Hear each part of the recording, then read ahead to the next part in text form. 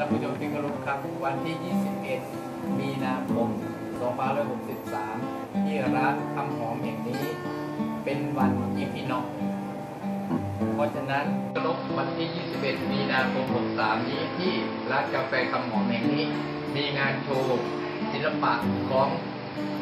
มือระดับประเทศสองคนต่างวัย อันนี้มือโปรเท้าใสก็ล็อก อันนี้ต้นหอม